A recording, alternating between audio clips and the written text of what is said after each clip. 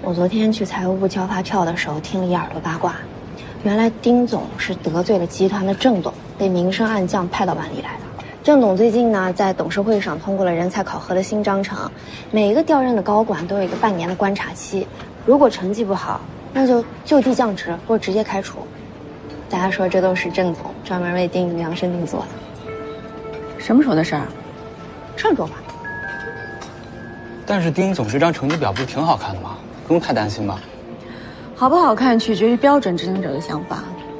如果真的是诚信的话，怎么样都不会让你达标的。嗯。哎，对了，老大，我听说集团对调整期商场的租金收益也要进行考核了，这不就是冲着万丽来的？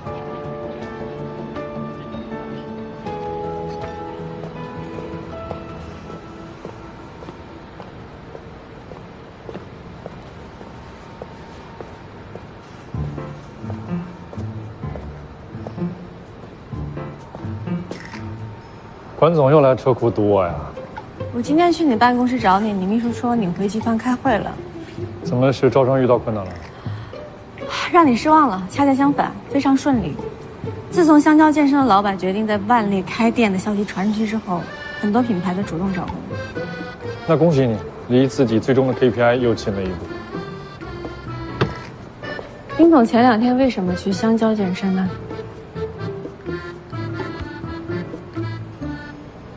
你误会了，不是因为你，毕竟我是这个商场的总经理。虽然咱们在很多事情上存在着一定的分歧，但在大方向上，咱们目标是一致的。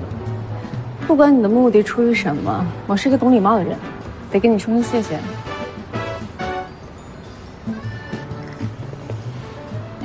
不客气，我可以走了吗？听说郑总为难你，给你新增了一个高管半年考察期，是吗？我可以帮你，那是我和郑董之间的事儿，不需要你帮助。你是怕牵连我？你想多了。所以那个时候你那么急着让我招零售业态，是因为集团给你下达了租金收益的考核，对吗？生活业态的租金没有零售业高，而且装修免租期的时间又长。关文，我觉得你可以先做好自己的事儿，因为你只剩下三个月来完成自己的品牌升级。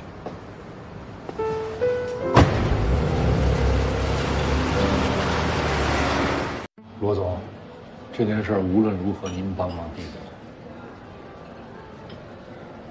丁总啊，不是我不帮你，我也实在没办法。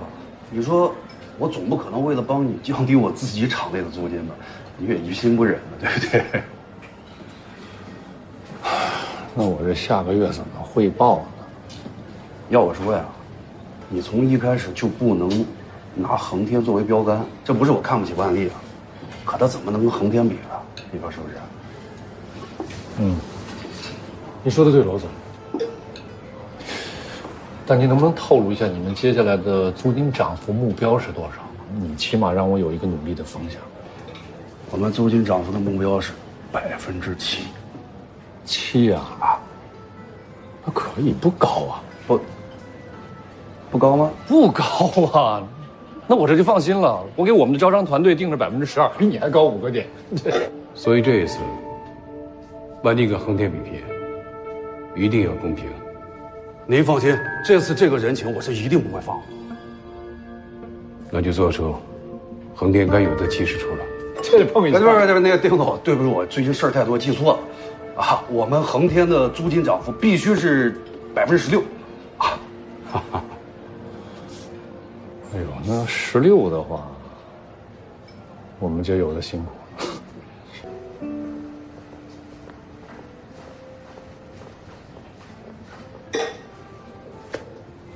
你是在击恒天的那一位啊？有那么明显吗？不过刚刚罗总好像并没有意识到啊。你到底想干什么呀？他要是真的把租金增幅提升到百分之十六，对你有什么好处啊？过犹不及的道理听说过吧？合理的增幅没问题，不合理的才会引起反抗。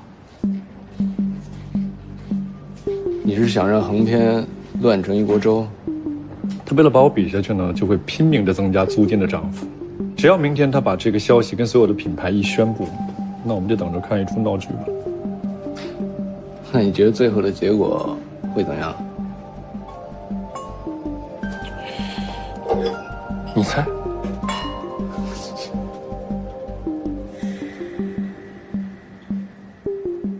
你说他逞强，你自己不也是吗？为了招个牌子，把人都差点搭进去了。我自己有分寸，我现在跟丁宁是站在一艘船上，他就应该学会信任我。这个人怎么不想不明白呢？也许他也很有自信呢，觉得一个人什么都能搞定。这直男都有一望无尽的自信。又吃外卖啊？那你明天就去市场买点菜下个厨，就当是借租我这儿的租金。啊，我倒是愿意做，我就怕做了以后，万一你再吃了给中了毒了，分分钟影响你这几千万上下的大生意。嗯，你回家了？啊，我也总不能老是穿你的衣服吧？没遇见林浩，他这两天也没去你咖啡馆去找你。他之前说过这周要陪领导，白天请不了假。老婆都要没了，连一天假都舍不得请啊？你是不是拿我的手机跟他说什么了？我说了，不道歉就分手。也不用这么严重吧？其实我有很多做的不好的地方。你真是变了！你上大学那会儿不是这样啊？你怎么老觉得是自己问题呢？一个男人连道歉都不会，你跟这种男人在一起干嘛？那我们在一起这么多年了，也不能说分开就分开吧？就是因为在一起这么多年，你才能看得清楚他，早一点清盘退出。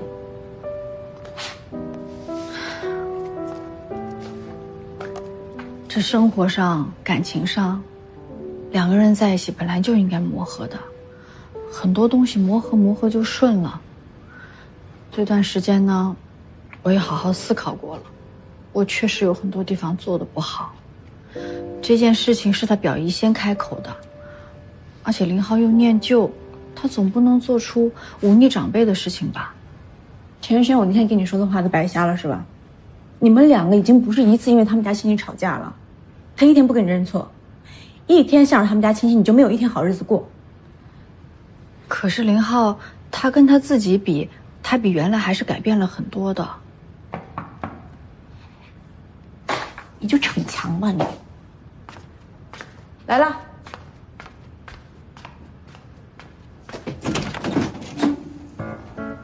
零一年极品新世界，有兴趣吗？小秋。